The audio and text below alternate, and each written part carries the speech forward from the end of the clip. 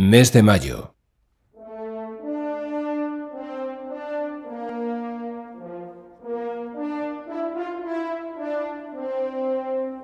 Amaneció el lunes 2 de mayo, día aciago para Madrid.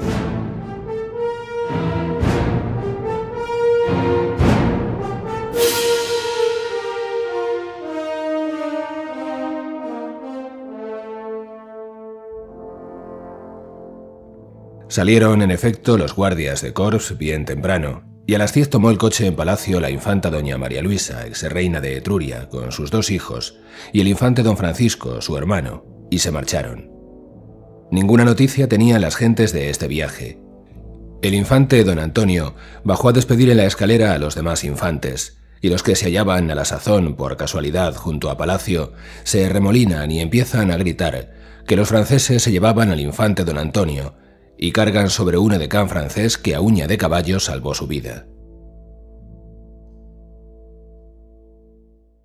Se extendió con rapidez por todo Madrid la falsa noticia y de todas partes corrían las gentes y huían los franceses a incorporarse a sus respectivos cuerpos. Mataban a muchos, y en Palacio fue donde empezó el fuego, porque allí apareció la primera tropa francesa formada.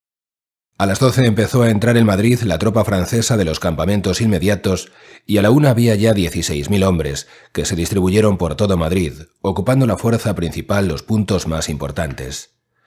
Por todas partes se mataba, pero en el río, en la cercanía de Palacio y en las maravillas era grande el estrago.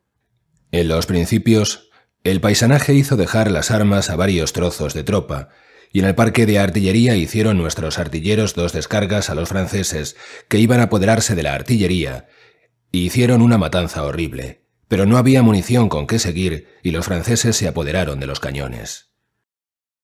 Hubiera sido un día mucho más desastrado, que lo fue, pero los franceses hicieron mucho menos destrozo del que pudieron hacer, porque estuvieron bastante contenidos. Y el paisanaje, desarmado, desorganizado y sin cabeza ni dirección, que no tenía más que un ardor desesperado, ¿Qué podía hacer contra un ejército armado y dirigido?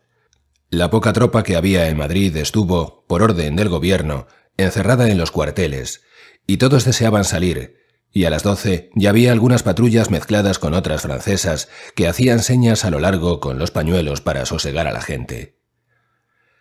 A las dos de la tarde salió todo el consejo, los señores alcaldes de corte, varios grandes, algunos generales franceses y los señores de la Suprema Junta de Gobierno, y todos andaban sosegando y publicando bandos para la quietud.